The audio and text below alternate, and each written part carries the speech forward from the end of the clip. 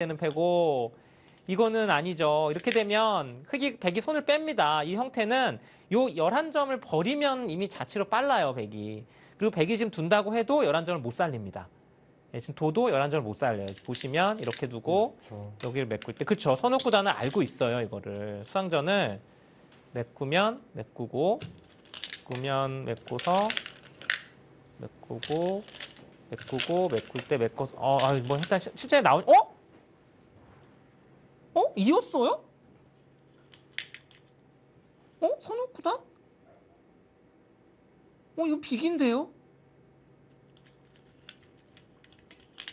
어 이거 뭔가 착각을 한 것 같은데요?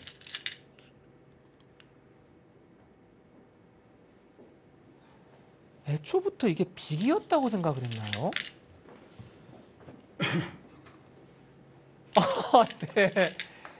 야, 이게 또 이지연 도전자가 또 이렇게 기사 예상을 합니까? 이건 빅이, 네. 네. 빅이면 흑이 이겼죠.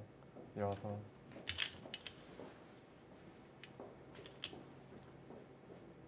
아, 이건 뭐 지금은 넉넉하게 빅이네요.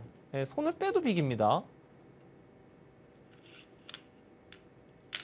아까 흑이 여기를 이었을 때, 여기를 이었을 때 바로 잡으러 갔으면 백이, 빠- 백이 잡았는데, 이 11점을 버리고 잡는 형태였는데, 그랬으면 이 성룡 구단이 이겼어요.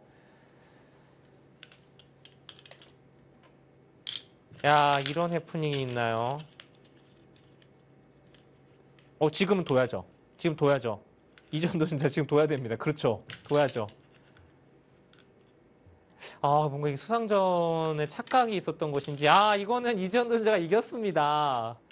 그렇죠. 이건 비기나면은 원래 많이 이기고 있었기 때문에 별로 손해본 게 없죠, 크게.